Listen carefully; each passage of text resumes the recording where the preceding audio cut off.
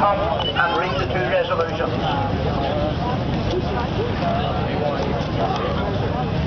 Most Worshipful Sovereign Grand Master, Right Worshipful County Grand Master, distinguished Sir Knights, Sir Knights all, friends, it gives me great pleasure and privilege to read these two resolutions that we wish to consider today. The resolution of faith and the resolution of loyalty. First one of faith reads as follows. As Sir Knights of an institution which holds to the Reformed, Protestant and evangelical understanding of the Christian faith, we are aware of the increasing pressures of those who are faithful to these principles. We call upon all our Sir Knights to recommit themselves to this faith to the promises they made when joining the Royal Black Institution. We insist that government at all levels recognise and respect the moral and ethical imperatives that flow from adherence to that faith. Trusting as always in the one who is King of Kings and Lord of Lords, we are determined to stand fast in the faith once delivered to the saints. And our second resolution of loyalty. We, the officers and Sir Knights of the Royal Black Institution, reaffirm our undiminished loyalty to Her Majesty Queen Elizabeth II, Queen of Great Britain and Northern Ireland, and Head of the Commonwealth.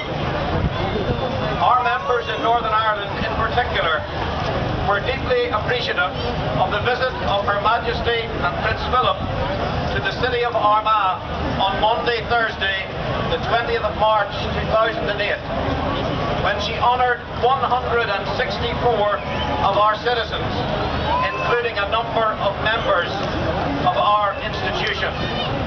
Most Worshipful Sovereign Grand Master and Sir Knights, these are the resolutions for your consideration this afternoon. Thank you. Thank you, Knight Livingston.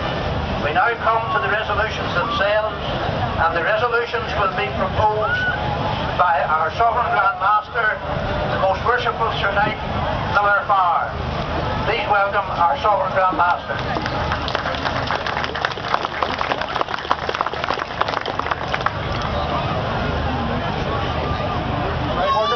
Grand Master, Right Worshipful Assistant Sovereign Grand Master, And County Officers, all distinguished Sir Knights, Sir Knights all, ladies and gentlemen.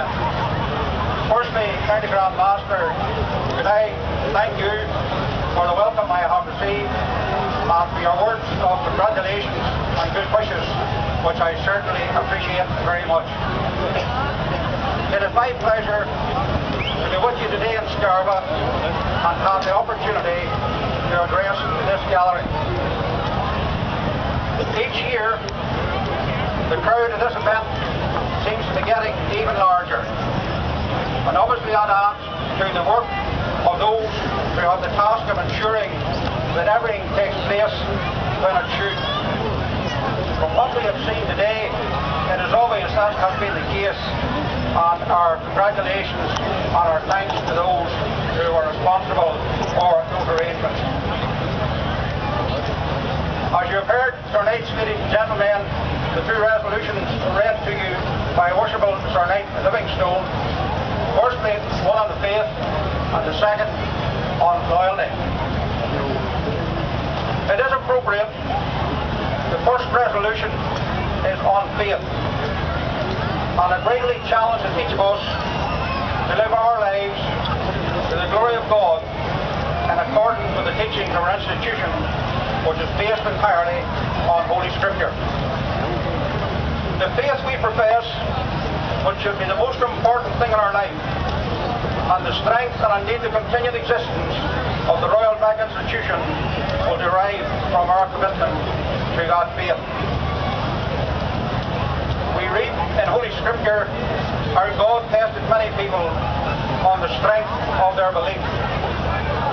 Indeed, we read in Genesis chapter 14, Job persevered the challenge, whoever it was, and how he dealt with it.